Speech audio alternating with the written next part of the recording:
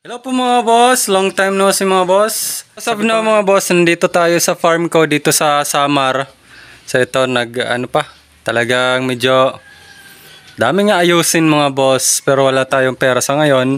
Kita nyo naman yung ating kinuha na bago. Ah, laki na niya. Ang bilis lumaki mga boss, mga hybrid talaga yung alaga natin dito. Tapos itong, ito naglandi na ito mga boss. Ah, inisprayhan natin ng hormone pampalandi. So yan, so antayin ko na lang yung ika 21 days niyan.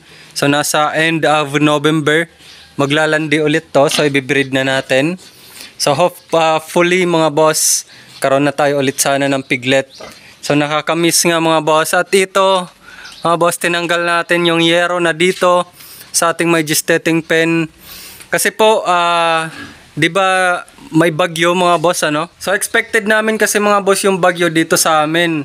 So kahit papaano tatama. Pero ah, awas sa Diyos mga boss, lumhis siya papuntang ah, northern part ng ating bansa. So napunta siya doon sa may Catanduanes area.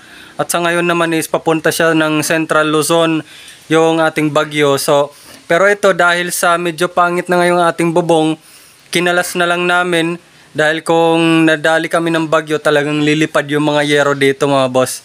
Kaya pinatanggal ko na lang. So hindi tayo nakakapunta ngayon sa Pampanga kina Ma'am Lani.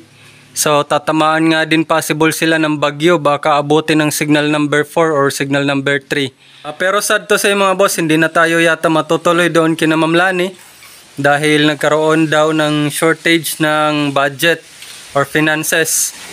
Kaya yun yung naging setback natin at hindi na tayo makakapunta doon. Pero okay lang naman, so andito na tayo sa ating farm sa ngayon. At dito mag-aayos-ayos na lang tayo dahil di naman din magtatagal, makabalik na tayo sa pag-aalaga ng baboy. At as of now, andun ako ngayon kina Sir Jason sa Allen. So bukas nga tatravel ako papunta doon dahil ako muna yung titingin at magti-technician in short doon sa kanyang babuyan. So para mai ano, may ayos yung kanyang farm, mapalago natin hopefully. Sana maging okay. So yun, doon muna ako sa Allen, Northern Samar. Pero dito naman uuwi-uwi ako dahil sa mga alaga din natin dito na kailangan nating iayos pati yung ating farm dahil sa medyo may mga sira na nga. Pero as of now, maayos naman yung status ng ating mga alagang baboy. So yan yung ating magandang ah, masasabi dito. So yan yung ating mga baboy dito, okay naman sila.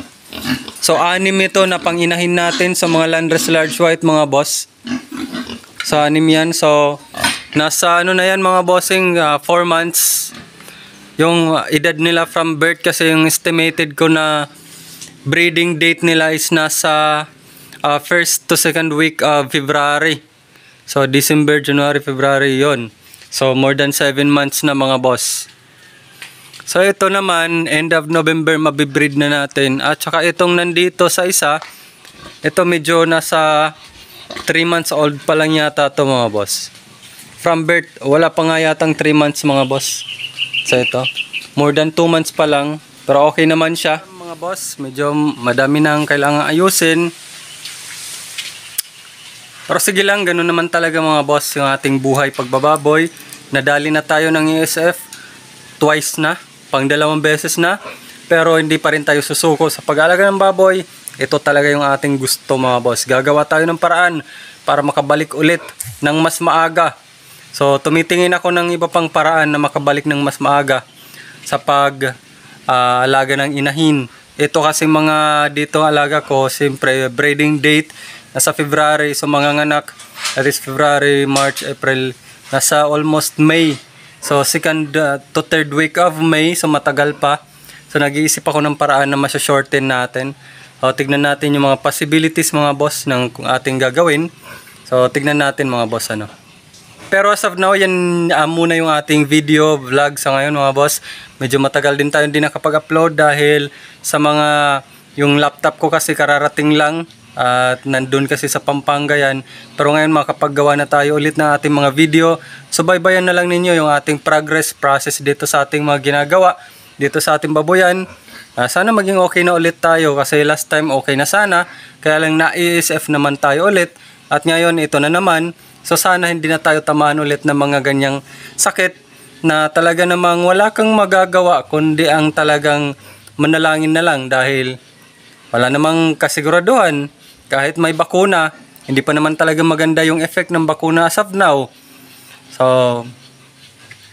ah, biosecurity at panalangin mga boss. Ah, sana hindi na maulit. Yun lang naman yung ating video sa ngayon mga boss. Bye bye po. Salamat sa Diyos. God bless po sa inyo. Peace